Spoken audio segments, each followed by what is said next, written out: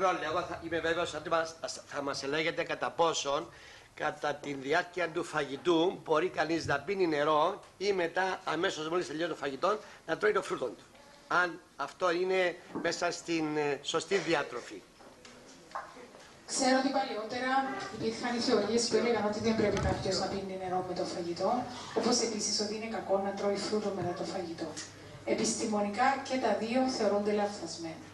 Ότι το να πίνει κάποιος νερό οποιαδήποτε ώρα θεωρείται φυσιολογικό και πολύ υγιεινό ε, και το να τρώει το φρούτο του είτε μαζί με κάποιον άλλο φαγητό είτε μόνον του ε, δεν αλλοιώνει τα συστατικά του φρούτου με οποιοδήποτε τρόπο. Άρα δεν θα συμφωνούσα. Λόγω του ότι το φρούτο χρειάζεται λιγότερο ή περισσότερο να, να διαλυθεί, δηλαδή να, Ναι. να απολυθεί. Ε, και, και, Και θεωρείται ίσως ότι το στομάχι δεν έχει την ικανότητα να χειριστεί έναν τέτοιο μικροπροβληματάκι. Εγώ πιστεύω ότι μπορεί να Ναι, το ναι. Α, Είναι αυτή η εξήγηση που δίνεται συνήθως, αλλά ε, το στομάχι έχει την ικανότητα να εκρίνει τα οξέα που χρειάζονται και να χειριστεί την κάθε τροφή, έτσι κι αλλιώς όλες οι τροφές είναι αναμίξεις συστατικών και έχει την ικανότητα να τις διαλύσει και να χρησιμοποιήσει εκείνο που χρειάζεται όπως χρειάζεται. Ε, είναι μεγάλη η σοφία με την οποία έχουν δημιουργηθεί τα πάντα και δεν θα ήταν αυτό έτσι, πρόβλημα σοβαρό για έναν στομάχι. Ναι, ορίστε ο Νίκος. Ναι. Στις καταστροφικές λατρείες που ακούσαμε, από αυτά που ακούσαμε πιστεύω ότι δημιουργεί, δημιουργούνται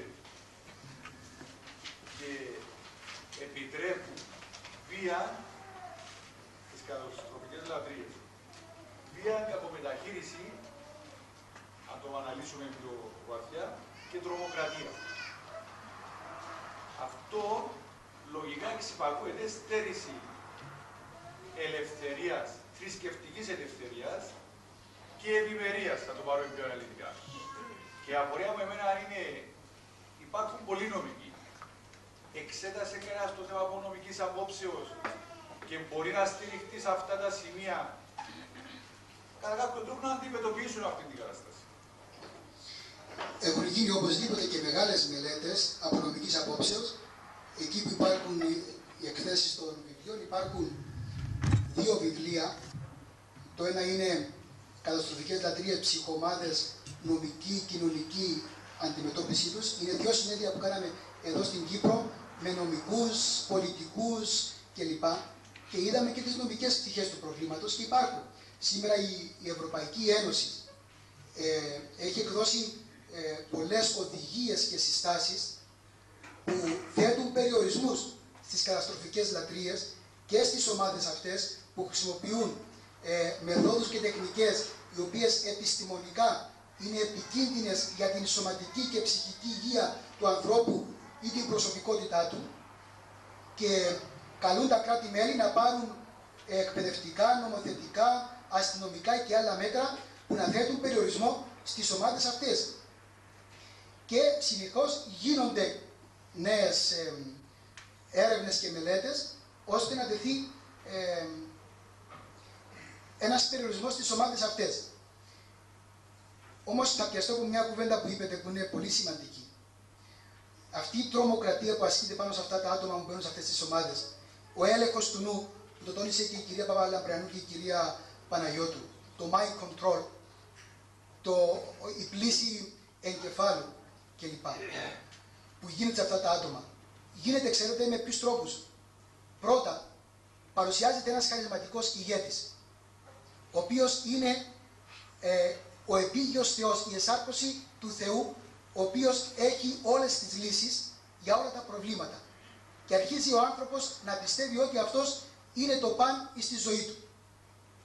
Μετά αρχίζει να πιστεύει ότι ο άνθρωπος που εντάχθηκε στην ομάδα αυτή και υποτάχθηκε σε αυτόν τον κουρού, το χαρισματικό ηγέτη, είναι μέρος μιας ομάδας που θα φέρει τη λύτρωση σε όλον τον κόσμο.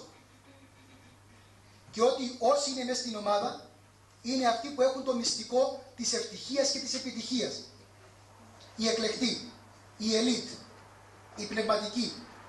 Μετά αρχίζει μία, ε, κάποιες τεχνικές ε, πλήσεις εγκεφάλου, όπως είναι ο διαλογισμός, η συνεχή ενασχόληση με την ομάδα και τα της ομάδας, η υγιεινή διατροφή, προσέξτε το αυτό το πράγμα, που όταν αρχίσουν και στερούνται κάποιες ουσιαστικές τροφές, αρχίζει και αδυνατεί ο οργανισμός, αδυνατεί το μυαλό και αρχίζει ο άνθρωπος να μην έχει προσωπική βούληση και σκέψη και γίνεται ένα εξάρτημα στα χέρια των ανθρώπων αυτών, τον οποίο το χρησιμοποιούν για πολλούς και ποικίλους σκοπούς, οικονομικούς, ε, πνευματιστικούς και δεν ξέρω τι άλλους. Ναι, Πανίκο. Εγώ θα ήθελα στην κυρία Ήθελα δύο ερωτήματα. Το ένα να μας πείτε κατά πόσο όλα αυτά που διαφημίζουν τα τα ψυχικά, πόσο πλαβερά είναι στον οργανισμό. Γιατί υπάρχει μεγάλο ερωτήματα μέσα στον κόσμο. Και το δεύτερο, η δεύτερη ερώτηση, αν μπορείτε να μας πείτε οι πολυβιταμίνες που πίνουν πάρα πολλοί άνθρωποι και λένε οι γιατροί ότι δεν υπάρχει πρόβλημα. Οι ταμπλέτες των εμπειρίες που γιώνουμε στο νερό, αντιδήμα κλπ. Υπάρχει κάποιο όριο ή μπορούμε ελεύθερα ας πούμε, να... Στο πρώτο μέρος της ερώτησής σας, από το λεκτικό το οποίο, με το οποίο έχετε εκφράσει το ερώτημα, υποθέτω ότι είσαστε ήδη πεπισμένος ότι είναι βλαβερά τα τρόφιμα τα συγκεκριμένα. Ε, γι' αυτό δεν είναι απόλυτα σωστό. Θα πρέπει να εξετάσουμε το κάθε τρόφιμο ξεχωριστά θα ήταν επικίνδυνο να γενικεύσουμε και να πούμε ότι όλα τα τρόφιμα μιας συγκεκριμένης κατηγορίας, εσείς λέτε light, άρα αν υποθέσουμε ότι light είναι κάτι ίσως με χαμηλότερες θερμίδες ή με χαμηλότερα λιπαρά ή με χαμηλότερη ζάχαρη, ότι όλα αυτά τα τρόφιμα είναι είτε βλαβερά είτε ωφέλιμα. Δεν θα μπορούσα να απαντήσω τόσο εύκολα. Θα έπρεπε να πιάσουμε την κάθε περίπτωση ξεχωριστά και να εξετάσουμε τα όποια πλεονεκτήματα μπορεί να δίνει κάποιον τέτοιον τρόφιμο για να βγάλουμε τα συμπεράσματα μας. Ένα παράδειγμα, τα αναψυχτικά, ας πούμε, τα οποία το διέτη στο αναψυχτικό δεν έχει τη μεγάλη ποσότητα ζάχαρης που έχει το μη διέτης αναψυχτικό. Αυτό παρέχει σοβαρό πλεονέκτημα σε κάποιον ο οποίος είναι διαβητικός πρώτα-πρώτα και θέλει να πάρει έναν τέτοιο τρόφιμο που δεν θα μπορούσε να καταναλώνει το άλλο, το μη διαιτητικό με τη ζάχαρη, σε κάποιον ο οποίος κάνει δίαιτα, προσέχει τις θερμίδες που παίρνει και δεν θέλει να πάρει πολύ ζάχαρη. Από την άλλη, τα δύο προϊόντα, εκτός από τη ζάχαρη, η οποία στη μία περίπτωση υπάρχει και στην άλλη υπάρχει το γλυκαντικό, για τα οποία γλυκαντικά πάλι λέγονται πάρα πολλά, αλλά δεν αποδείχτηκε οτιδήποτε. Και είναι όλα στο τραπέζι, ο καθένας μπορεί να κρίνει ε, μόνος του για κάποια πράγματα. Κάποια γλυκαντικά πολεμήθηκαν ιδιαίτερα περισσότερα από άλλα. Εκτός λοιπόν από τη διαφορά της ζάχαρης, τα δύο προϊόντα έχουν τα ίδια περίπου συστατικά. Και δεν μπορούμε να πούμε ότι είναι ωφέλιμα ούτε στη μία περίπτωση ούτε στην άλλη. Από την άλλη όμως, εάν χρησιμοποιείται σε μικρές ποσότητες, δεν σημαίνει ότι είναι και δηλητήριο. Αυτό που έχουμε μπει κατά επανάληψη σήμερα, ότι πρέπει να υπάρχει κάποιο μέτρο, πρέπει να υπάρχει κάποια λογική στην κατανάλωση. Αν πάρουμε ε, το γάλα, ε, έχουμε και πιο ειδικό εδώ σε γάλα, ε, Λοιπόν, ε, το, το χαμηλό λιπαρών γάλα πιθανόν ενδείκνυται, όχι πιθανόν, ενδείκνυται να καταναλώνεται από άτομα που έχουν κάποια προβλήματα υγείας και τους παρέχει τη δυνατότητα να καταναλώνουν γάλα και γαλακτοκομικά εκεί που δεν θα μπορούσαν υπό κανονικές συνθήκες ή θα έπρεπε να πάρουν σε μικρότερη ποσότητα. Τώρα, το κάθε τρόφιμο είναι διαφορετικό και έτσι σας δίνω ένα-δύο παραδείγματα χωρίς να μπορώ να σας απαντήσω με ένα ναι ή έναν όχι στο αν είναι βλαβερά ή όχι. Έτσι πω κάτι σε αυτό. Ναι, θα πω κάτι σε αυτό. Ε, εγώ δεν θα μιλήσω επιστημονικά, γιατί δεν τα κατέχω αυτά ε, απόψεις επιστημονικής κλπ.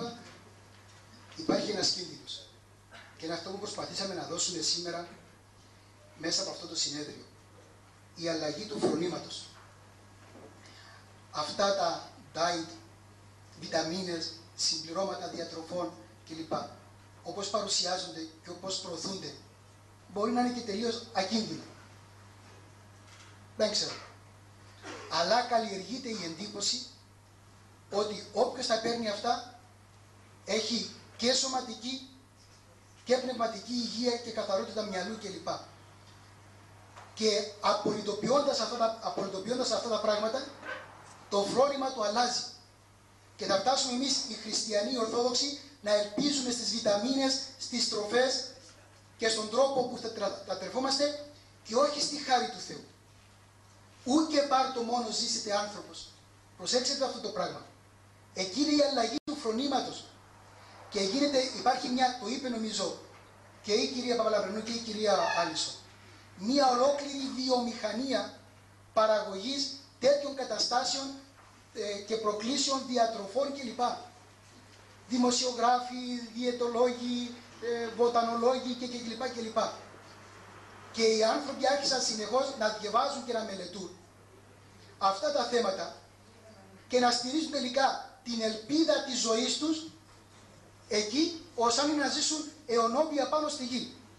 Ήρθε προηγουμένως κάποια από εδώ και μου είπε να πλησιάσουμε κάποιους δημοσιογράφους που από το πρωί μέχρι το βράδυ καλούν τέτοιους ανθρώπους στις εκπομπές τους και μιλούν. Ακριβώς εκεί είναι το μυστικό. Τους καλούν γιατί υπάρχει μια καλά οργανωμένη προσπάθεια να περάσουν μέσα στη ζωή μας αυτά τα πράγματα και να μας αλλάξουν το φρόνημα μας. Και εκεί θέλουμε να το προσέξουμε πάρα πολύ αυτό. Και να πω και μια προσωπική άποψη έχει επιστημονική για αυτό που είπετε τα συμπληρώματα διατροφών κλπ. Εμένα μου θυμίζει αυτό που γράφει πάνω στα πακέτα με το τσιγάρο.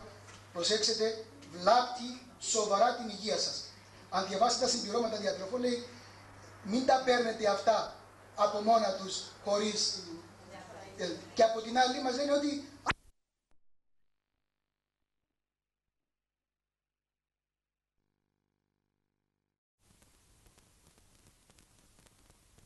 και αν είναι αθώα, ε, δεν με βρίσκει καθόλου σύμφωνη. Είναι μια μεγάλη βιομηχανία, είναι πάρα πολλά τα χρήματα τα οποία διακινούνται.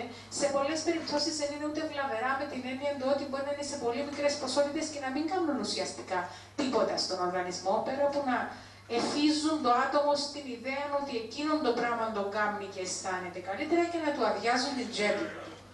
Άρα να είμαστε λίγο προσεκτικοί δεν είναι κακά. Είναι εκεί, είναι χρήσιμα, είναι εργαλεία για τους γιατρούς για να καλύψουν ελλείψεις. Δεν είναι όμως για να τα χρησιμοποιούμε σαν καραμελίτσες ανεξέλεκτα, γιατί πολλά από αυτά μπορεί να έχουν και σε πολύ μεγάλες ποσότητες τα συστατικά και να έχουν τα αντίθετα αποτελέσματα, να επεμβαίνουν εκείνα τα συστατικά με την απορρόφηση κάποιων άλλων. Προσοχή λοιπόν αν θα χρησιμοποιηθούν μόνο με συμβουλή ειδικού. Ε, ο πατήρ Χαράλαμπος, να δώσουμε τον λόγο. Πάτε θα μισείτε το μικρόφωνο για να μιλήσετε.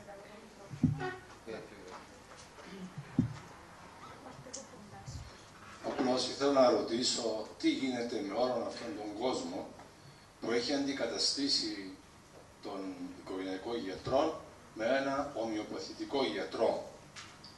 Ε, στις συζητήσεις με τα πρόσωπα αυτά πολλές φορές διαφαίνεται ότι δεν υπάρχει καμία αίσθηση του κινδύνου ο οποίος υπάρχει. Και όπως πάνε στον γιατρό της συμβατικής ιατρικής, επισκέπτονται και τον ομοιοπαθητικό. Ε, και παίρνουν τα φάρμακα τα οποία γράφονται από τον ομοιοπαθητικό γιατρό. Χωρίς το άτομο που λέγεται να ξέρει τίποτα από όλα αυτά τα πράγματα και μάλιστα αν το πει κανείς θα πει μα τι είναι αυτά, τι είναι αυτά.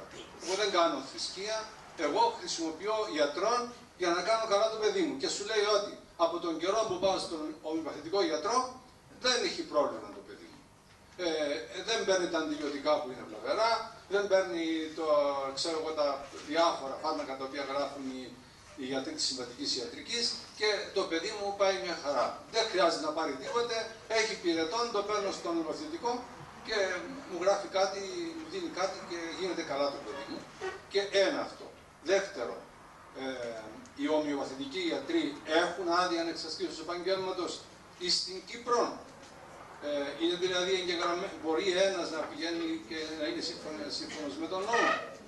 Έπειτα έχουμε παραδείγματα εδώ στην Κύπρο ομοιοπαθητικών γιατρών οι οποίοι εκμεταλλεύτηκαν τις επισκέψεις αυτές για να συνδέσουν τους πελάτες τους με τον αποκρυφισμό.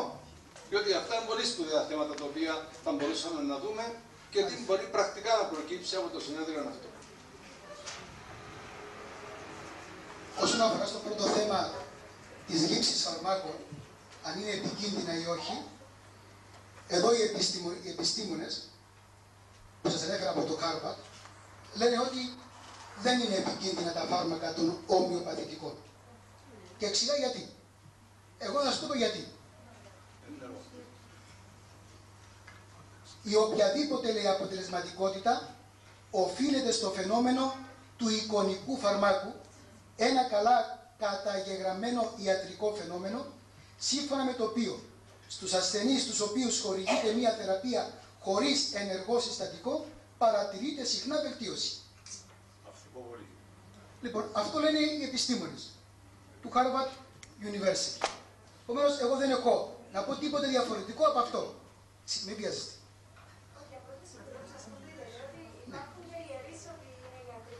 Σιγά, ερχόμαστε στο, ερχόμαστε στο άλλο. Ένα άλλο ερώτημα είναι, λέει, γιατροί οι οποίοι είναι εγκεκριμένοι και κάνουν ομοιοπαθητική. Κοιτάξτε, εδώ έχουμε δύο κατηγορίες που ασχολούνται με την ομοιοπαθητική. Είναι γιατροί οι οποίοι σπούδασαν την ορθόδοξη κλασική ιατρική και είναι εγγεγραμμένοι στον ιατρικό σύλλογο όχι ως ομοιοπαθητικοί, ως ορθόδοξοι γιατροί, της κλασικής δηλαδή ιατρικής και χρησιμοποιούν και την ομοιοπαθητική. Εκεί δεν προσφύγει κανείς τίποτε, διότι είναι κατοχυρωμένοι ως ιατροί και λένε στα πλαίσια της ιατρικής μου εφαρμόζω και αυτό. Και ο ιατρός εκεί όταν πάει μια γιαγιά και λέει ανέβηκε το ζάχαρο μου στα 300-400 και είναι η ιδέα της και η αναλύση είναι ότι είναι 120, μπορεί να ζήσει και ένα καπάκι εκεί το οποίο δεν είναι τίποτε και να πει ότι α, έπεσε το φάρμακό μου, ε, το, το ζάχαρο μου. Επομένως, το πρόβλημα τώρα είναι σε αυτούς οι οποίοι ασκούν την ομοιοπαθητική και δεν είναι γιατροί. Ε, αυτούς τους καταδικάζει και απαγορεύει σε αυτούς την άσκηση της ιατρικής ο ιατρικός σύλλογος. Και υπάρχει απόφαση του Παγκύπριου Ιατρικού Συλλόγου που λέει ότι δεν αποδέχεται ως επιστημονική μέθοδο ιατρικής την ομοιοπαθητική. Αυτό το λένε οι γιατροί. Ερχόμαστε σε ένα άλλο σημείο. Το οποίο για μας τώρα ως ανθρώπους της Εκκλησίας έχει μεγάλη σημασία. Τι κρύβεται πίσω από την ομοιοπαθητική; Θα σας πω με δύο λόγια και όσοι θέλουν κάτι περισσότερο να το διαβάσουν υπάρχουν στα βιβλία τα οποία έχουμε γράψει. Είχα κάποτε πει και γράψει ως αμφιβολία, προσέξτε, ότι πίσω από την ομοιοπαθητική κρύβεται ο αποκρυφισμός. Το είχα πει, προσέξτε, ως αμφιβολία ότι κάτι γίνεται.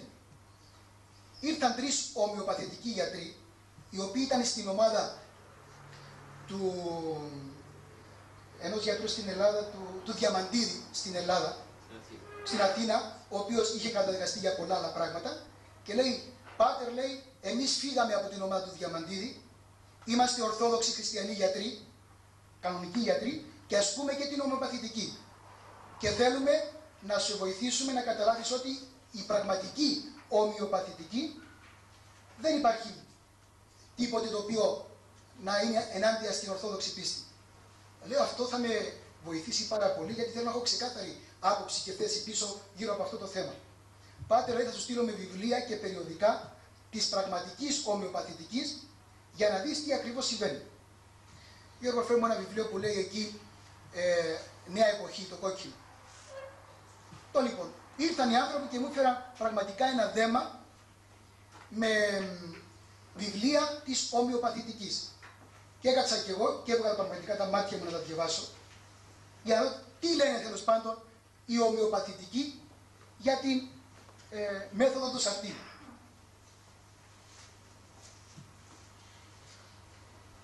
Θα σας διαβάσω ένα απόσπασμα από τα βιβλία τα οποία μου έφερε. Και λέει, η ομοιοπαθητική έχει σχέση όχι μόνο με τη σωματική, αλλά και με την πνευματική ανάπτυξη του ανθρώπου. Το ομοιοπαθητικό φάρμακο πραγματικά σώζει ψυχές με αυτόν τον τρόπο. Βοηθά στην καταστροφή του κακού. Η ομοιοπαθητική βοηθά να ανοίξουν τα ανώτερα κέντρα και να εισρεύσει από εκεί η πνευματική και ουράνια ενέργεια. Δεν το λέει ο Πατή Χριστοφόρος, το λένε οι ομοιοπαθητικοί και μάλιστα από τα βιβλία που μου έφερα να διαβάσω για να μου αποδείξουν ότι δεν λέει τίποτε το οποίο αντίθετο με την Ορθόδοξη πίστη. Θα πω και γι' αυτό. Όταν έγραψα, θα πω και γι' αυτό. Όταν έγραψα λοιπόν αυτό το άρθρο, αυτό το βιβλίο μάλλον, και βγήκα προς τα έξω αυτά, και έγραψα και κάτι στο περιοδικό ενημέρωσης, με επισκέφτεται ένας ιερέας από τη Λευκοσία, μου φέρνει μια επιστολή, την οποία υπέγραφαν κι άλλοι 6, 7, ίσως και 10 ομοιοπαθητικοί γιατροί, τονίζω αυτό, όλοι οι γιατροί, οι οποίοι μου έλεγαν ότι εάν δεν γράψω εντός ενός συντόμου χρονικού διαστήματος ένα καινούριο άρθρο που να λέω ότι η ομοιοπαθητική δεν είναι αιρετική, θα με καταγγείλουν ενώπιον της Ιεράς Συνόδου ότι τους χαρακτηρίζω ως αιρετικούς. Επειδή ήταν κληρικός, εγώ έπρεπε και να το σεβαστώ, αλλά και να είμαι και ξεκάθαρος. Διότι τα θέματα πίστεως δεν σηκώνουν λίγο έτσι και λίγο αλλιώς. Λέω, πάτερ μου, ευχαριστώ που ήρθατε για δύο λόγους. Ο πρώτος λόγος, λέω, είναι ότι θα χαρώ πολύ να με καταγγείλετε στη Σύνοδο, γιατί η Σύνοδος αναγκαστεί να ασχοληθεί με αυτό το θέμα και πλέον η απόφαση που θα πάρει δεν θα είναι του Πατρός Χριστοφόρου, θα είναι της Σύνοδου. Και αν η Σύνοδος πει ότι αυτά εγώ τα οποία λέω είναι ορθόδοξα, τότε θα έχετε να δώσετε λόγο εσείς. Εάν πει ότι αυτά που λέτε εσείς είναι ορθόδοξα, τότε θα απολογηθώ εγώ. Αλλά έχω να σας και μια άλλη εισήγηση, Πάτερ, λέω. Αυτά τα οποία γράφω εδώ και τα έχετε διαβάσει, δεν είναι του Πατρός Χριστοφόρου. Είναι παρμένα από τα βιβλία των ομοιοπαθητικών γιατρών. Και μάλιστα του ιδρυτή της ομοιοπαθητικής, του Χάνεμα, του διαδόχου του του Κεν, του Βιθούλκα, ο οποίος είναι ο εισηγητής της ομοιοπαθητικής στον, στον χώρο της, ε, της, το ελληνικό χώρο, ελλαδικό χώρο κλπ. Έχω να σας κάνω μια εισήγηση. Κάντε εσείς μια νέα καινούργια επιστολή, όχι αυτή που μου φέρετε, μια άλλη, και να λέτε εμείς ως ομοιοπαθητικοί γιατροί καταδικάζουμε τις θέσεις αυτές του Βιθούλκα, του Χάνεμα, του Κεν κλπ. Οι οποίες δεν συμφωνούν με την Ορθόδοξη πίστη. Διότι αν αυτή η θέση εδώ που λέει ότι το ομοιοπαθητικό φάρμακο θεραπεύει και την ψυχή και το κακό και ανοίγει τα ουράνια για να έρθει ενέργεια στον άνθρωπο είναι ορθόδοξη, τότε δεν κατέχουμε τη θεολογία. Αν είναι αιρετική πρέπει να την καταδικάσετε. Καταδικάστε τη και εγώ θα κάνω ένα καινούριο άρθρο, μια δήλωση που θα λέω ο πατήρ Τάδε και οι υπόλοιποι ομοιοπαθητικοί που ασκούν την ομοιοπαθητική είναι ορθόδοξοι. Έφυγε από εκεί, ούτε, το, ούτε στη σύνοδο με κατέγγυλα, ούτε έκαναν τη δήλωση που να καταδικάζουν τις αιρετικές δοξασίες και θέσεις της ομοιοπαθητικής. Διότι εάν βγάλουν και καταδικάσουν τις αιρετικές θέσεις, εάν τα χρησιμοποιήσουν ομοιοπαθητικό φάρμακο ή όχι, ε, δεν είναι δουλειά δική μου εμένα, διότι δεν είμαι γιατρός και δεν μπορώ να ξεχωρίσω αν αυτό είναι καλό ή κακό. Αυτό μας το πούν οι γιατροί. Αλλά ως θεολόγος και κληρικός και επιμένας της Εκκλησίας, έχω το δικαίωμα να πω αν αυτό που διδάσκουν είναι ορθόδοξο ή όχι. Και αυτό δεν μπορεί να το απογορεύσει κανένας. Και ας με πούν φανατικό, και ας με πούν μυσαλόδοξο, και ας με πούν ότι τα βλέπω μονόπλευρα και συντηρητικά κλπ. Είναι αυτά τα οποία λένε ήδη και εμείς τα θέτουμε στο φως του Ευαγγελίου και της Εκκλησίας. Τι να κάνουμε, να αλλάξουμε το Ευαγγέλιο τώρα για να ικανοποιήσουμε έναν ιερέα πασκή ομοπαθητική; Μήπως έγινε όμως σύντομα ή και μπορεί να απαντήσω σε λίγο υπόθεση. Λοιπόν, να πάρουμε μια σειρά. Να βάλουμε και ένα γιατρό να μιλήσει και μετά να πάμε έτσι. Θα μιλήσετε όλοι. Ορίστε, κυρία Ελένη. Εγώ θέλω να ρωτήσω την κυρία Ανάλυση να μας πει αν μπορεί για την κινησιολογία, ρεφλεξολόγιο, για την μέθοδος Shihatsu, Σιάτσου. ε, πιλάτες και τις αρματοθεραπείες, πόσο, ε, πόσο Επηρεάζουν. μπορούν να χρησιμοποιηθούν από τους, από τους γιατρούς σαν μέθοδος ε, όχι για να θεραπεύσουν την ψυχή τους, αλλά να τους βοηθήσουν να βγουν τα διέξοδα στις αρρώστιες τους. Αν το δεχόμαστε.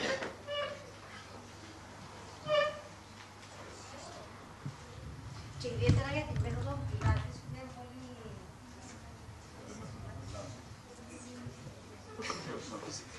Which one first?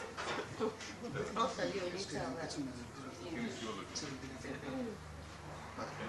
Well, which one to is reflexology? Okay. Φυσιολογική, λεξιολογική. How can a normal doctor Okay, they cannot. It can't be complemented into anything because it is a complete doctrinal term. Ε, λέει ένας κανονικός γιατρός δεν μπορεί να χρησιμοποιήσει αυτές τις μεθόδους διότι είναι δόγμα. Ε, Τι την έκανε. ένα, ένας ε, ορθόδοξος γιατρός, ένας κανονικός ε, κλασικός γιατρός δεν μπορεί να χρησιμοποιήσει τις μεθόδους αυτές διότι είναι μέθοδος και δόγμα ε, από μόνον του. Οι- Όλες οι θεωρίες. These methods are fronts. They're not what they seem to be. Οι μεθόδοι αυτοί είναι προσχήματα μόνο. Δεν είναι τι προσφέρουν, δεν έχουν αποτέλεσμα. If you ask a alternative therapist, no, use. If you ask any alternative therapist what they believe and what they, well, they won't tell you what they do at home, what prayers they, they won't tell you what prayers they do in the evenings or the mornings before they practice their alternative therapy because, as I said, they like to keep that secret. They belong to a group of some kind. As I said, it could be a micro cult, which could be two or three people. Um, you don't have to be in a big, big group to be an occultist. You could be an individual and just seeking it out on your own. Ε, λέει ότι οι, οι λεγόμενοι ε, practitioners που κάνουν αυτήν τη δουλειά τη νύχτα ή έχουν μυστική διαδικασία την οποία δεν αποκαλύπτουν και δεν είναι εύκολο να την μάθουν διότι πιστεύουν ότι η δύναμη τους είναι για στον μυστικισμό, για στη μυστικότητα που κρατούν. Ε, χρησιμοποιούν ορισμένες διαλογισμούς, προσεκτές τα- πρακτικές πριν να πάνε στο ιατρείο τους, το ε, λεγόμενο ιατρείο, και όταν χρησιμοποιούν τις μεθόδους τις οποίες χρησιμοποιούν, ο απότερος του σκοπός δεν είναι η θεραπεία, αλλά ο προσυντηλισμός ή κάτι να μεταφέρουν το άτομο σε πλήσεις εγκεφάλου. Είναι πολύ ευρύ ε, οι πλήσεις εγκεφάλου. Ο καθένας μας υπόκειται σε πλήσεις εγκεφάλου καθημερινά. Αλλά έχουν συγκεκριμένον τρόπο τον οποίο φέρνουν προς τα μέσα άτομα τα οποία είναι ευάλωτα, τα οποία είναι εξασθενισμένα και τα οποία έχουν ανάγκη να ακούσουν μια καλή κουβέντα. Και συνήθως χρησιμοποιούν διάφορες τεχνικές. Οι τεχνικές που χρησιμοποιούν είναι όλες από τον έλεγχο του νου. Δηλαδή, Όταν έρθει κάποιος κοντά σου, μπορείς να ελέγξεις τις θα αντιδράσεις. Μπορεί να ξέρεις την επόμενη ερώτηση την οποία θα σου κάνει. Να ξέρεις την απάντηση που θα του δώσεις που θέλει να ακούσει. Αυτές είναι οι τεχνικές που χρησιμοποιούν. Μπορεί να είναι μικρο, μικροομάδες Ναι. ή μονάδες. Επίσης, η άλλη σου λέει ότι είναι μικροομάδες, δεν είναι ανάγκη να ανήκουν σε μεγάλες λατρευτικέ ομάδες. Απλώς είναι μικροομάδες. Και ένα άτομο. Ή και μονάδες. Ή και μονάδες οι οποίες εξασκούν αυτή τη ε, διαδικασία. Ορίστε, η κυρία Ελένη και μετά η άλλη Ελένη. Ήθελα να ρωτήσω λίγο την κυρία Νάκησον πώς αντελήφθηκε και πώς ε, συνειδητοποίησε μετά από τόσα χρόνια που ασχολήθηκε με αυτές τις ομάδες και με αυτές τις αιρέσεις, τι ήταν αυτό που την βοήθησε καταρχήν να το αντιληφθεί; Και μετά πόσο δύσκολο ήταν για αυτήν ε, να αλλάξει; Και μάλιστα να έρθει σε εμάς στην Ορθοδοξία.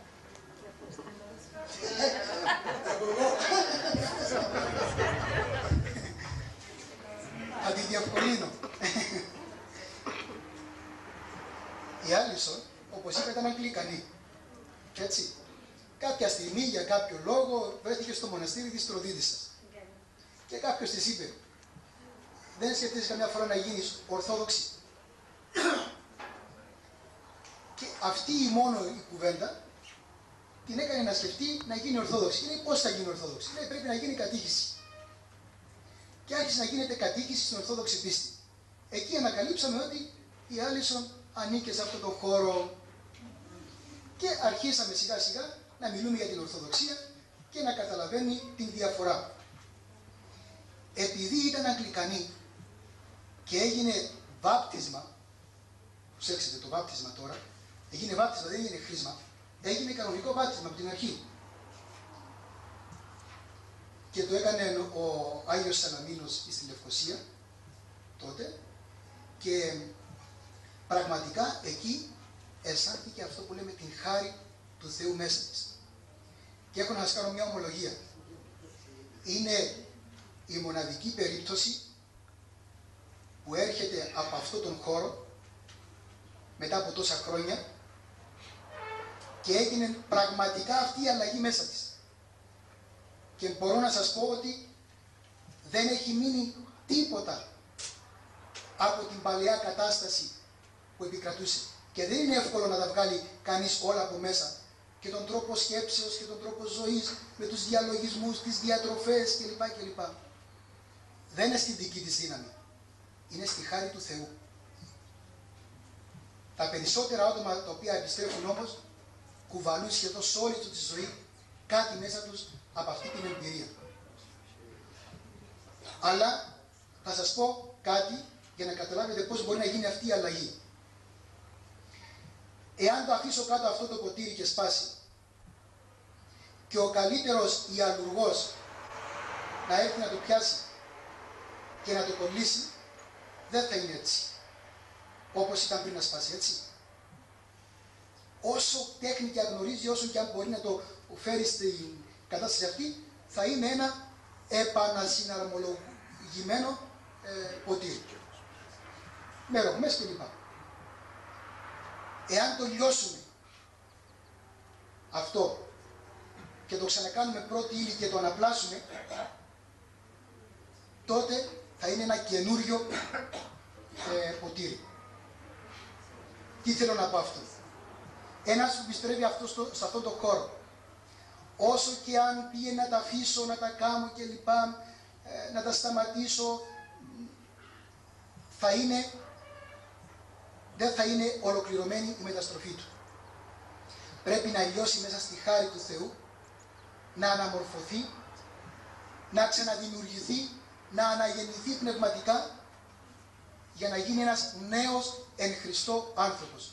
Γι' αυτό, πατέρες μου, και στους θεολόγους το λέω αυτό, γιατί κάνουμε ένα τρομακτικό λάθος, γυρίζουν από τον αποκρυφισμό από αυτές τις μεθόδους και με μια ανεξομολόγηση τους βάζουμε μετά να κοινωνήσουν. Αυτοί δεν θεραπεύονται. Είναι μέσα στην εκκλησία και ζουν αποκρυφιστικά με διαλογισμό κλπ. κλπ.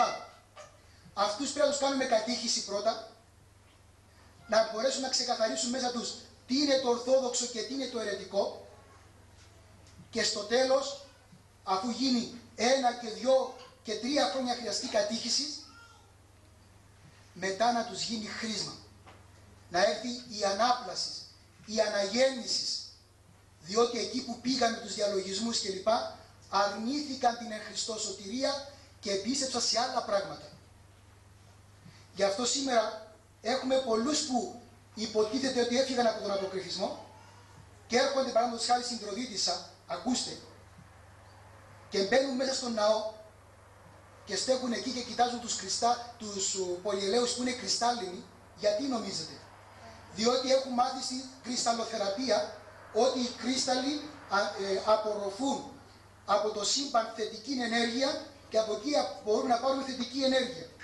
Και τους βλέπεις στον ναό και νομίζεις ότι προσεύχονται, ενώ αυτοσυγκεντρώνονται στον, στον κρύσταλλο. Καταλάβετε; Η άλλη Ελένη, σιγά θα, θα έρθει και η σειρά σας. Ναι. Κυκλοφορούν κάποιοι κατάλογοι με χρωστικές ουσίες, οι οποίες είναι απαγορευμένες ή έχουν κάποιες επιπτώσεις στο σύστημα γενικά του ανθρώπου. Πόσο καλή είναι αυτή η κατάλογη που κυκλοφορούν; Η ερώτηση είναι για κάποιον κατάλογο που περιλαμβάνει κάποιες χρωστικές ουσίες και αν είναι εντάξει αυτοί οι κατάλογοι, πόσο πρέπει να τους λάβουμε υπόψη.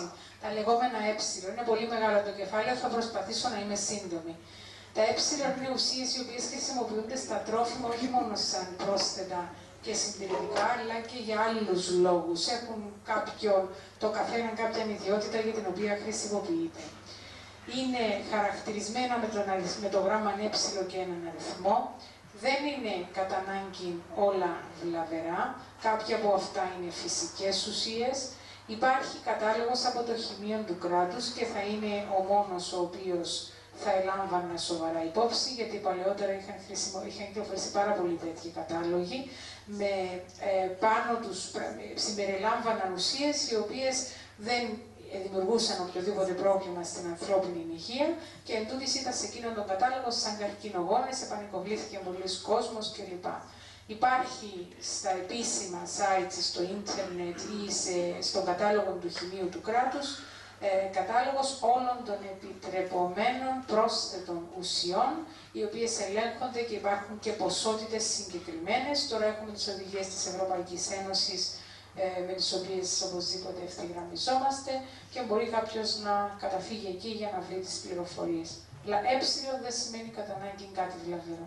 Τώρα για μια άλλη ερώτηση. Είναι ανάγκη να έχουμε αυτές τις επιπρόσθετες σε κάποιες περιπτώσεις είναι πάρα πολύ βασικός ο ρόλος τους και έχουν να κάνουν όχι μόνο με την εμφάνιση, δηλαδή μιλούμε για τις χρωστικές, μπορεί να μην είναι ανάγκη, να εξυπηρετούν περισσότερο την ανάγκη του παρασκευαστή να πουλήσει το προϊόν του περισσότερο. Αλλά υπάρχουν ουσίες οι οποίες μπαίνουν μέσα για να ελέγξουν το μικροβιολογικό φορτίο των τροφίμων. Και είναι πολύ σημαντικό αυτό. Ή να διατηρήσουν το τρόφιμο με κάποιον τρόπο που διαφορετικά δεν θα μπορούσαμε να το έχουμε εμείς στη διάθεσή μας. Ε, διορθώστε με, κύριε Χατζικώστα, αν πω κάτι διαφορετικό. Συμφωνούμε. Ότι τα ε σε κάποια ψηλή δοσολογία ίσως να προκαλούν κάποια βλάβη, αλλά δεν είναι κατά ανάγκη Κάτι βλαβερό. Ο κ. Χατζικώστας είναι επιστήμονας ε, τεχνολόγο τροφίμων, ο οποίος ασχολείται με το θέμα πιο βαθιά από ότι εγώ. Είναι στενός συνεργάτης και κάπου εδώ χρησιμοποιήσαμε. Σε αυτά τα θέματα. Γέλασε μας την φορά. Να είμαι ειλικρινή, ε, μου πέρασε από το μυαλό. Μπορεί να σας πει πάρα πολλά Διότι για τα το, ξέρω, το ξέρουμε σαν παραγωγό εκεί του γάλακτος Κρίστη. Μα είναι επιστήμη πίσω από την παραγωγή του. Εγώ έχω, πάντα είχα μια απορία. Είχα, είχαμε Αγίους, και έχουμε Αγίους μέχρι σήμερα, οι οποίοι έτρωγαν κάθε δεύτερη ημέρα, μερικές φορές και τρίτη ημέρα, ή διαβάζουμε εκεί στον πατέρα Παΐσιο, ότι έπαιρνε ένα μικρό τενεκουδάκι του γάλακτος, του, αυτό το, και έβαζε μέσα ε, λίγη, λίγη, ναι, λίγη φαγή και έτρωγε και ζούσε και μάλιστα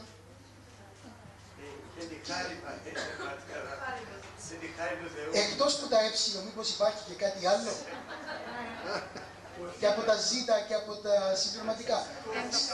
τα οποία δεν μας δεν δίνουμε σημασία. Εκεί είναι το θέμα. Θα προσέξουμε λίγο αυτό. Διότι τι είναι αυτό που τους έκανε. Φυσικά δεν είναι για όλους αυτό το πράγμα. Και οι εξαιρέσεις δεν είναι νόμος αλλά πρέπει να έχουμε και το νου μας στην χάρη του Θεού. Και να μου επιτρέψει η άντρη, ε, η πλατρίδισσα, κόμμα, να πω κάτι. Όταν τα παιδιά της στο δημοτικό, τέθηκε ένα πολύ σημαντικό ερώτημα αν έπρεπε να νηστεύουν από το δημοτικό. Έτσι. Το λοιπόν και υπήρχαν κάποιες αμφιβολίες ανθρώπινες, κάποιοι λογισμοί που έλεγαν μα τώρα τα παιδιά θέλουν να τρέφονται κανονικά κλπ. κλπ, κλπ. Και ενίστευα όλο το 40 ήμερο και το 50 ήμερο και ρώτησαν και τον παιδίατρο τους και τους είπε δεν υπάρχει πρόβλημα. Λοιπόν, ε, όσοι ξέρουμε τα παιδιά αυτά, θα τα δούμε ότι παρότι νηστεύουν, δεν τους λείπει τίποτε.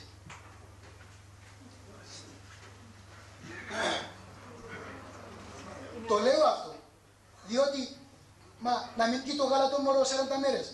Να μην κάνει εκείνο, να μην κάνει το άλλο, να μην φάει κρέας, να μην φάει τυρί, να μην φάει γάλα. Όσαν και το παιδί, εάν τα τρώει όλα αυτά, θα είναι υγιέστατο. Και να μας πει η κυρία Παπαλαβαίνου ότι όπως τα ταΐζουμε τα μωρά μας, με αυτόν τον τρόπο να φάνε, να φάνε, να φάνε, τελικά είναι το, το αντίθετο. Δεν υπολογίζουμε στη χάρη του Θεού. Και η νηστεία ελκύει την χάρη του Θεού όταν γίνεται στα πλαίσια τα εκκλησιαστικά και τα πνευματικά. Να συμπληρώσω μόνο κάτι. Ναι. Συμφωνώ μαζί σας, απλώς και η νηστεία υπάρχει ο σωστός και ο λανθασμένος τρόπος να ακολουθηθεί. Είχατε πει και εσείς ότι μπορεί να μείνουμε μόνο στο δέντρο αυτά ή τρώω από τα άλλα και μπορεί να κάνω και καταχρήσεις από εκείνα που θεωρώ ότι επιτρέπονται και δεν είναι σωστό. Και στα παιδιά στην ανάπτυξή τους, ε, με μόνη επιφύλαξη το θέμα του γάλακτος, το οποίο μπορεί να συμπληρωθεί άλλες ώρες τη. Μιλώ καθαρά επιστημονικά, χωρίς να φεύγω από το πλαίσιο Μα που εσύ, έχετε βάλει. ε, εσείς, μιλάτε, εσείς μιλάτε επιστημονικά, εμείς μιλούμε στην πράξη. Και έχουμε εδώ μια εμπειρία τριών παιδιών. Δεν τα έχουμε εδώ. Εγώ θέλω να τα, να τα έχουμε εδώ τώρα, να τα δείτε. Πού είναι το, ε, α, ε, Εφταπελή οικογένεια. πού είναι τον, ο, ο Στέφανος. Λοιπόν, ο Στέφανος, ο Ευάγγελος τούτο, δεν ήρθε. Ο μικρός. Και νηστεύουν και για να κοινωνήσουν. Και νηστεύουν και το γάλα. Ο Δημήτρης. Ε, δεν μιλώ για, για συ- Έχουμε εδώ κάποια άτομα τα οποία, επειδή συνδέονται με το μοναστήρι πάνω, και κάνουν τα παιδιά τους στην νηστεία, και υγιεί είναι τα παιδιά αυτά, και τίποτα δεν τους λείπει. Άντε, να συμπληρώσω μόνο ότι πολλές φορές, επειδή ακριβώς ζούμε σε μια κοινωνία ανθρωποκεντρική, βάζουμε το νου, την Όλα- επιστήμη του ανθρώπου πάνω από τη χάρη του Θεού. Είναι το φρόνημα. Γι' αυτό το οποίο το συνέδριο γίνεται για το φρόνημα. Πες. Απλά θέλω να πω ότι ακόμα και τότε ο γιατρός που ρώτησα, ε, εν αγνία μου ήταν Ευαγγελικός, δεν ήταν Ορθόδοξος. και τον είχα ρωτήσει αν επιτρέπεται δύο φορές την εβδομάδα, την Τετάρτη και Παρασκευή να μην πίνουν γάλα. Αυτόν είχα να ρωτήσω. Και ο ίδιος μου απάντησε και τις 50 μέρες να νηστεύσουν, παίρνουν τόσο να σβέσουν από άλλα πράγματα, που δεν χρειάζεται να Ευτυχώς που νηστεύσουν. πήγες σε Ευαγγελικό και δεν πήγες σε Ορθόδοξο. Ε, μπορούσε να καταλάβει. Ναι, ναι, τα έπαιρναν όλα, δεν στέλνουν τίποτα τα παιδιά. Αν γίνει τα έπαιρνε. Έπαιρναν κανονική. Ε, δεν στέλνουν Τα τίποτα. έπαιρναν όλα. Ναι, ανιστήσιμα, έπαιρναν όλα. Ορίστε, και μετά εσείς. Ναι. Σχετικά με αυτές τις μεθόδους, Ναι, μισό λεπτό να ακούμε. για παράδειγμα, Ναι. σχετικά με τις μεθόδους που χρησιμοποιούν τις διάφορες μεθόδους για θεραπεία βρείτε και επικεντρώνομαι στον βελονισμό. Πόσο μπορεί να επηρεάσει η προετοιμασία που κάνουν αυτοί που κάνουν τις μεθόδους αυτές, πόσο μπορεί να επηρεάσει ψυχολογικά έναν άνθρωπο που πάει απλά και μόνο για να κάνει αυτή τη θεραπεία, χωρίς να έχει την πνευματικότητα, να το έχει, μπορεί να τον επηρεάσει, να επιδράσει αρνητικά στο ψυχολογικό κόσμο αυτού του ανθρώπου μέχρι σημείου που να νιώθει άγχος και να μην ξέρει από πού του προέρχεται αυτό το άγχος, να μην Μάλιστα. κοιμάται, να μην μπορεί να γίνει Ναι, ναι, ναι, ακριβώς. Και να σας πω ένα παράδειγμα. Ήρθε μια κυρία, καθηγήτρια των Αγγλικών και πήγε σε μια ορθόδοξη που τα έκανε αυτά. Το λοιπόν, την έβαλε και ξάπλωσε πάνω σε ένα διβάνι. Και την βλέπει, έκλεισε τα μάτια της, η θεραπεύτρια, και τα κουνούσε πάνω από το σώμα της. Έβλεπε έτσι κλειστά. Αυτή σε κάποια στιγμή την είδε. Της λέει τι κάνεις, λέει συγκεντρώνουμε για να σου μεταφέρω ενέργεια. Και αυτή μόνο με τη σκέψη ότι της μετέφερε ενέργεια, άρχισε να ανασφάλειες, φοβίες, το βράδυ να μην μπορεί να κοιμηθεί καλά κλπ.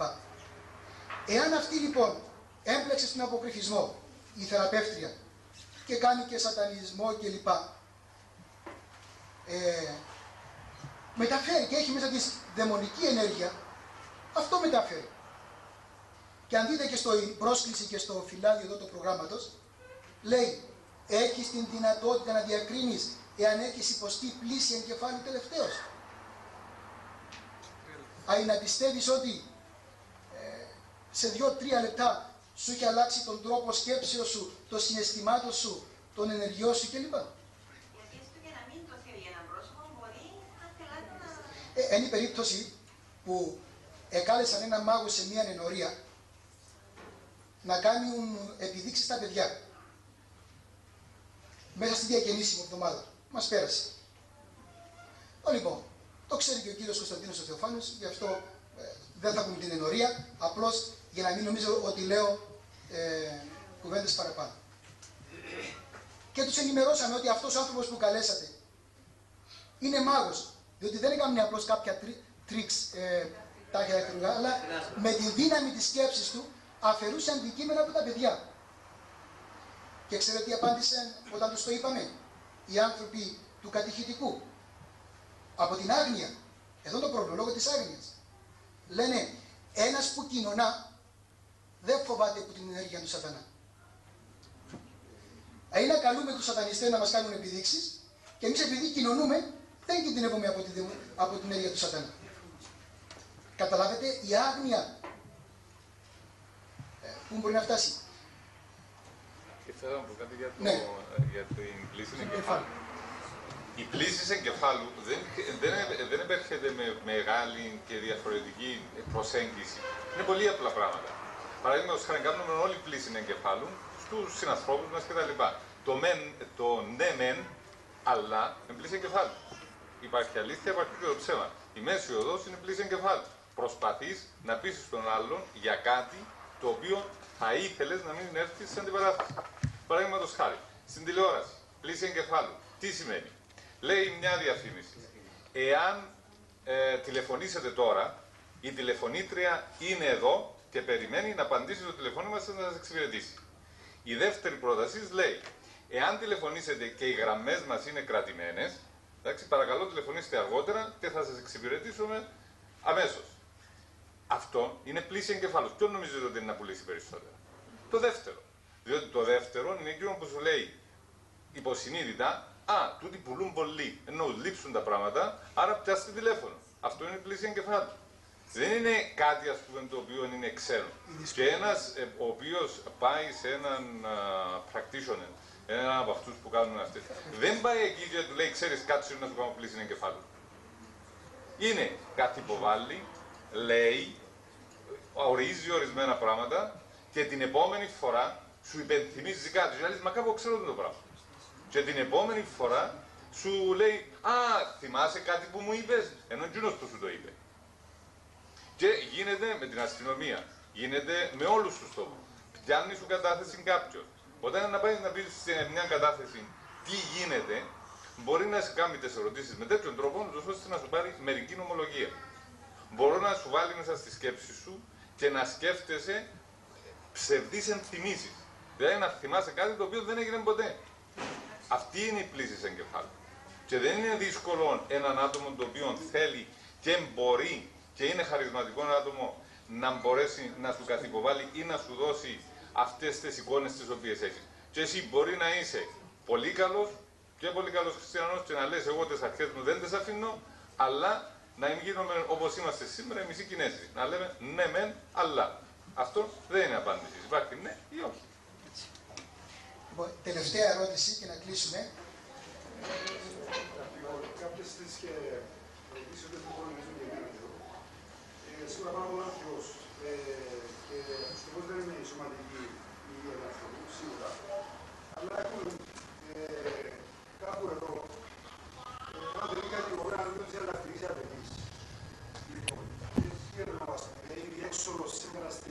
ασθένειες είναι μόνο ε, η κλασική ιατρική. Λοιπόν, ε, είναι πανάκια η κλασική ιατρική. Όλοι γνωρίζουμε λίγο ότι μπορεί ότι έχει χρεοκοπήσει σε πολλούς τομείς και ιδιαίτερα σε ε, ανίατες ασθένειες.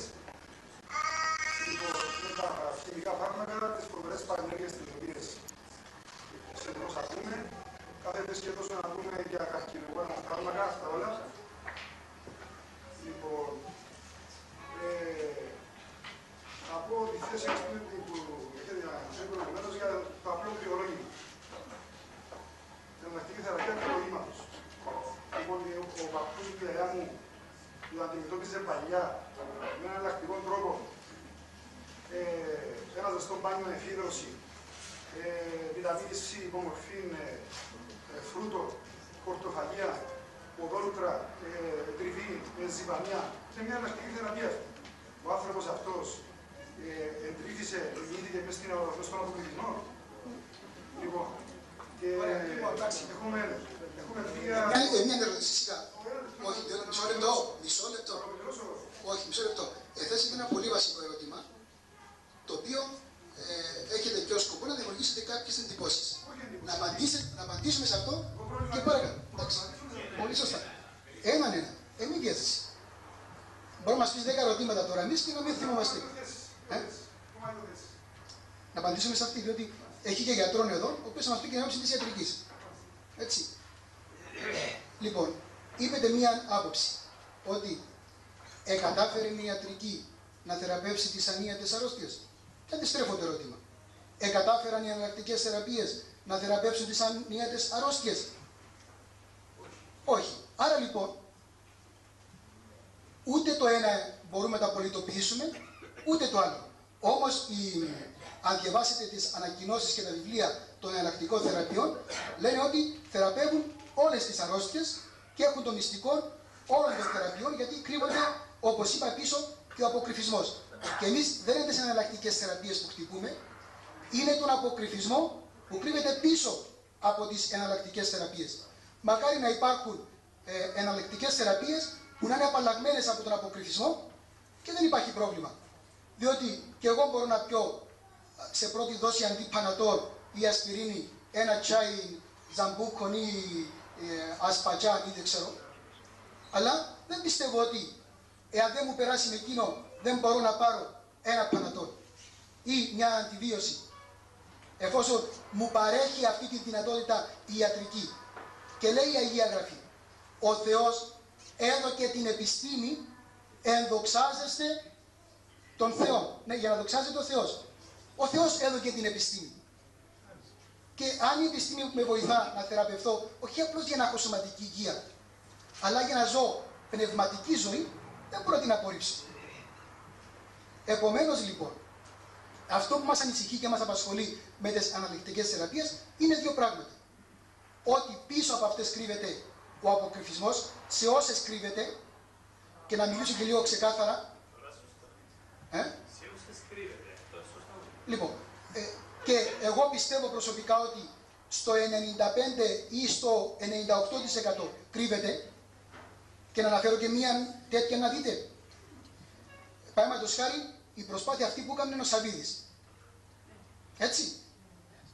Σας λέω και το έχω αποδείξει μέσα από τα κείμενά του, τα βιβλία του, ότι κρύβεται ο αποκρυφισμός. Και διαβάστε το αυτό στο λεξικό το δικό μας να δείτε. Ότι πίσω κρύβεται ο αποκρυφισμός. Και οι περισσότεροι δεν το ήξεραν αυτό το πράγμα.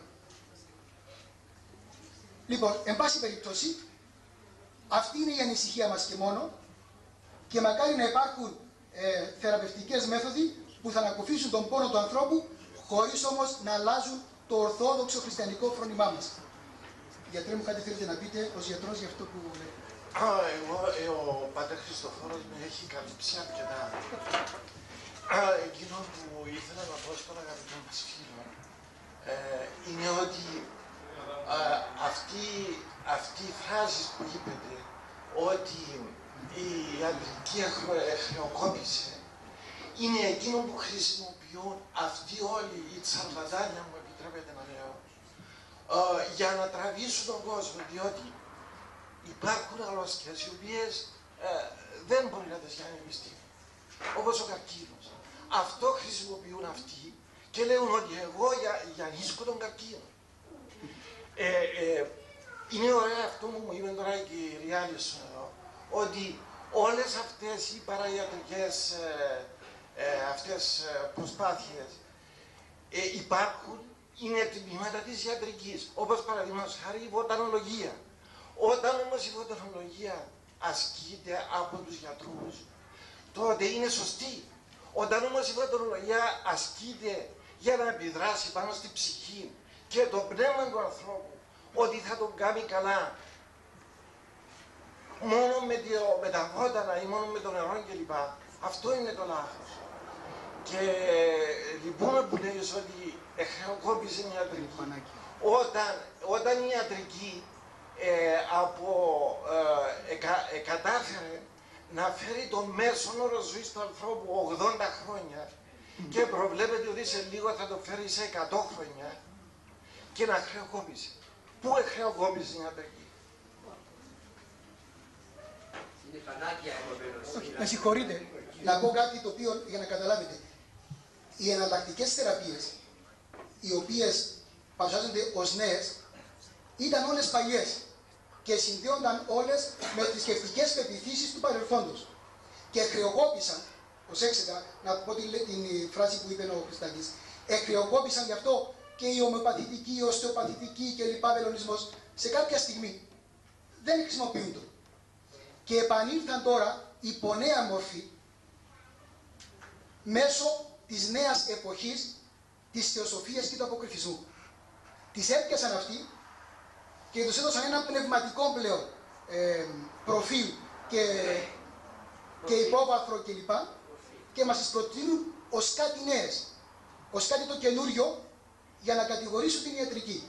Μακάρι να θεραπεύουν τον άνθρωπο σωματικά αυτές οι, οι μέθοδοι, αλλά να πάψουν να ασχολούνται με τη ψυχή, την διάνοια και το πνεύμα. Γιατί πλέον για μας τους Ορθοδόξους Χριστιανούς αυτά αλλά και το σώμα έχουν την αναφορά τους εις τον Θεό και όχι στη φύση. Καταλάβετε; Λοιπόν, ε, η ώρα είναι 13 και 30 και το πρόγραμμα λέει 13 και 30 λήξη. Επειδή πέρασε η ώρα, θέλω να σας ευχαριστήσω όλους που ήσασταν εδώ για την υπομονή που έχετε από τις ερωτήσεις και από την προσήλωσή σας φαίνεται ότι το θέμα ήταν πολύ ενδιαφέρον. Οι εισηγήσεις, τα πορίσματα θα εκδοθούν και θα τα έχετε να τα μελετήσετε. Να τα δείτε και γραμμένα κάτω. Γιατί πολλά αφήσαμε πίσω κλπ. Και αυτό, αυτή η συνάντηση, αυτό το συνέδριο δεν είναι το μοναδικό. Επειδή υπάρχει σοβαρό πρόβλημα και τονίζω πνευματικό πρόβλημα δεν εξετάζω το θέμα της ιατρικής γιατί δεν είμαι γιατρός και δεν μπορώ να πω σε αυτά τα κοράτια. Από πνευματικής, ορθόδοξης, χριστιανικής απόψεως έχουμε σοβαρό πρόβλημα αλλαγή φρονήματος κλπ. Γι' αυτό και θα επανέλθουμε. Ευχαριστώ ο Θεός και η Παναγία που ακούσαμε μαζί μας. Εξέχασα να ευχαριστήσω τις ομιλήτριες, την κυρία Παπαδαμπριανού και την κυρία Άλισον και όλους εσάς. Δόξα σοι Χριστέ ο Θεός ελπίσιμο, δόξα σοι Χριστός ο αληθινός Θεός ημών, τες πρεσβείες της Παναχράντου και Παναμόμου Αγίας Αυτομητρός, των Οσίων και Θεοφόρων Πατέρων ημών, των Αγίων και Δικαίων Θεοπατώρων Ιωακήμ και Άνης, της Αγίας Ενδόξου Μάρτυρος Θέκλης, εις και τη μνήμη επιτελούμε και πάνω των Αγίων, ελεήσε και σώσε εμάς, ως αγαθός και φιλάνθρωπος και ελεήμων Θεός. Διευχών των Αγίων Πατέρων ημών, Κύριε Ιησού Χριστέ ο Θεός, ελέησον και σώσον ημάς. Αμήν. Ο Θεός μας είναι.